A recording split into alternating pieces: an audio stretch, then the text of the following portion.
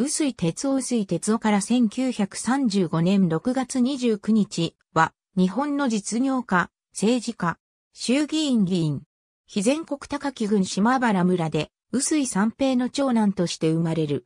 島原学校、小風義塾、小工塾などを経て、慶応義塾で学ぶ。1880年、同志と共に、再開日報社を創立し、翌年まで、同志の記者を務めた。1888年、日本輸出埋商社事務長に就任。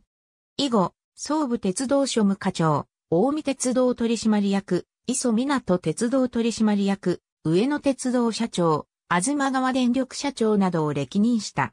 1883年、長崎県会議員に当選。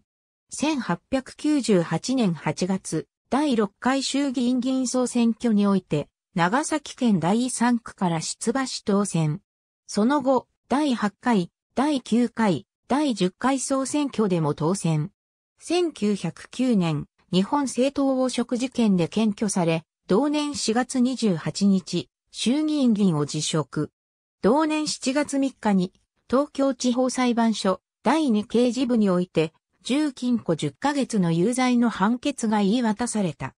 その後、判決を不服として控訴したが、同年8月10日に、東京控訴院第1部で控訴棄却の判決が言い渡され、臼井は上告せず有罪が確定した。